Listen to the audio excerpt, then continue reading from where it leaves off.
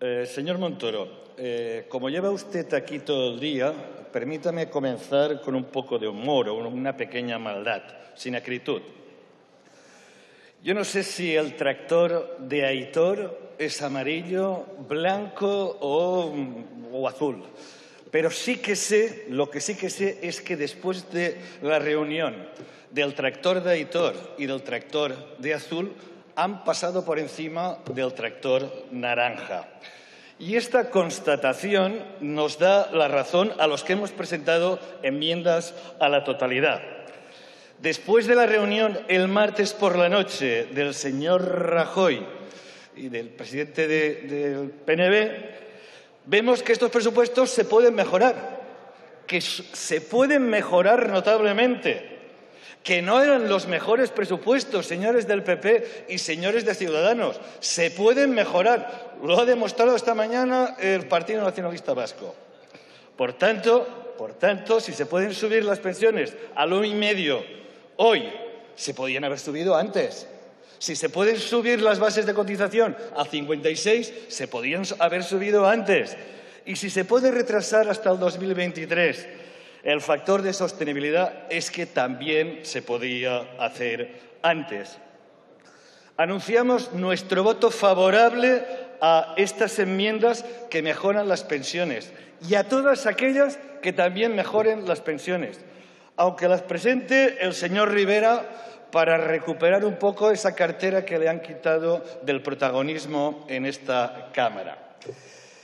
Señor eh, Montoro, estos presupuestos se pueden arreglar antes y se pueden arreglar después, como han demostrado, con las enmiendas. Y compromiso anunciaremos nuestro voto afirmativo a todas estas enmiendas.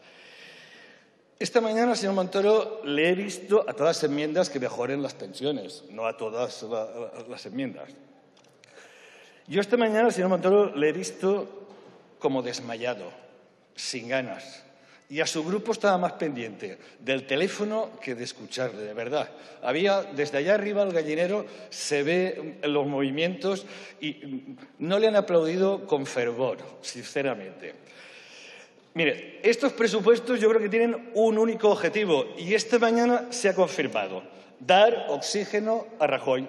Permitir que el señor Rajoy acabe la legislatura a ver si cambian los aires y eh, las encuestas comienzan a no ser tan naranjas.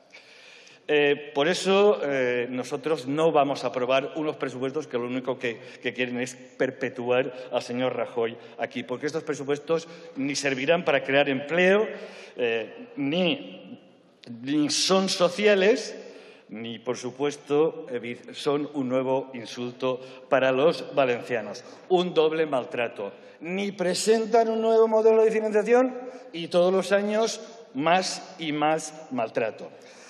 Estos no son los presupuestos más sociales. ¿Cómo pueden ser los más sociales unos presupuestos que la partida que más sube es la de defensa? Creo que eso es la seña de identidad de estos presupuestos. Sube el doble que educación y que sanidad. Y mire, son los mismos presupuestos, ya llevamos siete años viéndonos las caras, somos ya un poco viejos conocidos, y son los mismos presupuestos que han servido para que durante estos años España siga, sea uno de los países donde más ha aumentado la desigualdad en Europa. Y no lo decimos nosotros. Que haya aparecido en España un fenómeno insólito. Los trabajadores pobres. Que la población en riesgo de pobreza no pare de aumentar a pesar de sus presupuestos. Y el año pasado ya decía lo mismo, prácticamente lo mismo. Yo lo estaba escuchando esta mañana y pensaba, junto con mi compañero Enrique, eh, esto eh, es como un déjà vu, esto ya, lo oímos eh, el año pasado. Y sin embargo, todas estas cosas que decimos. Y además, otra injusticia más. El Estado se reserva el 65% del déficit. Un Estado que no tiene competencias o muchas competencias en las áreas sociales que las tienen que prestar las comunidades autónomas. A las comunidades autónomas este año les reservamos el 35%. Solo les dejamos el 75% del déficit y el Estado se reserva el 65%, sabiendo que las comunidades autónomas tienen que prestar la educación, la sanidad y las prestaciones sociales.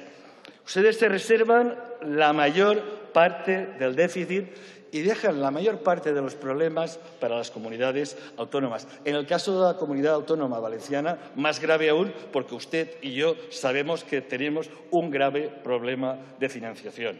Usted lo ha dicho alguna vez. ¿Quieren ustedes políticas sociales, señor Montoro? ¿Quiere políticas sociales, señor Rivera? Señor Cantó, ¿quiere políticas sociales? Usted que va a ser el próximo candidato, o por lo menos eso parece que ha dicho el dedo del señor Rivera. Pues mire, el gobierno valenciano, el gobierno del Botánic, que ustedes tanto eh, denostan, les puede enseñar algunas políticas sociales. Por ejemplo, hoy, los parados que cobren menos de 18.000 euros, a partir de hoy, dejarán de pagar los medicamentos. 230.000 personas, 230.000 valencianos y valencianos dejarán de pagar los medicamentos.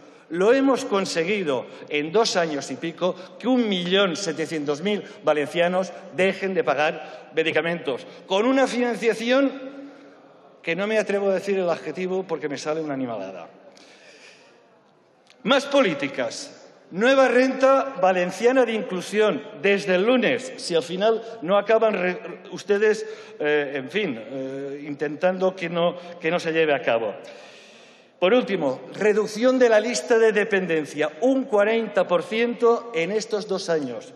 La lista de espera de dependencia es la más baja desde 2015, la más baja desde 2015 cuando gobernaba el Partido Popular ejemplos de políticas sociales.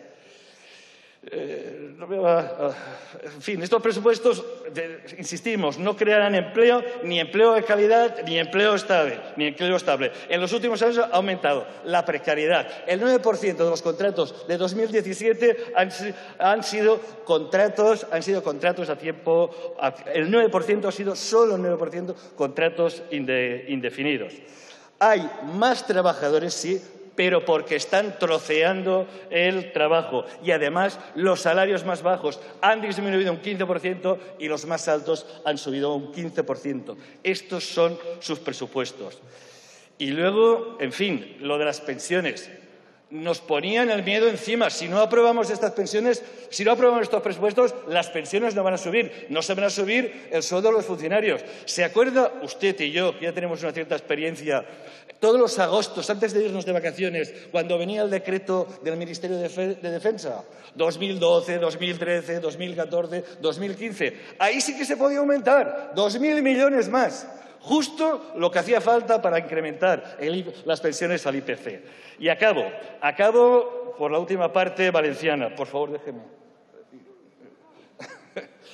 Eh, es que esto pasa muy rápido. Eh, hoy es 25 de abril. Los valencianos celebramos la derrota de Almansa y la pérdida de los fueros, pero también es una buena noticia hoy porque recuperamos la televisión valenciana que algunos cerraron. Estos presupuestos deberían servir para redistribuir la riqueza y para aminorar las desigualdades territoriales. Señor Montoro, señores del PP valenciano, señor Cantó, candidato inspectore a la Generalitat Valenciana, quiero el señor Rivera dijo que quiere la igualdad entre todos los españoles, que esa es la bandera de Ciudadanos. ¿Usted cree que un territorio como el valenciano, con un 12%, en una renta per cápita 12% inferior a la media, con un gasto por habitante 12% inferior a la media, se pueden invertir 67 millones menos que en otras comunidades autónomas? Eh, en fin, señor Cantó, señora Bastidas, ¿es eso igualdad? Mire, la Fundación, los presupuestos que ustedes van a aprobar prevén 35.000 euros para la Fundación del Toro de Lidia y 30.000 para un premio de tauromaquia. Y para la Federación de Sociedades Musicales de la Comunidad Valenciana, que recoge 547 sociedades, el 50% de todas las sociedades musicales de España, solo, solo le van a dar, solo le van a dar 7.000 euros. Tocan a 12 euros por cada sociedad musical. Y si lo dividimos por músicos, que son eh, 60.000 músicos, pues tocan a tan poco, tan poco, tan poco, tocan a 17 céntimos por cada músico. Eh, acabo. Estos presupuestos se pueden mejorar. Les quedan dos días para hacer enmiendas, para hacer enmiendas, diputados y diputadas valencianas. Les quedan dos días para hacer enmiendas. Háganlas Compromís se compromete a aprobar todas las enmiendas que mejoren estos presupuestos en clave valenciana. Sean leales con los intereses del pueblo valenciano. Sean dignos con los votos de las personas que les votaron allí para que ustedes estén sentados aquí. Compromís lo será. Seremos leales y dignos con el pueblo valenciano. Muchas gracias. Muchas gracias, señor Baldoví. Tiene la palabra.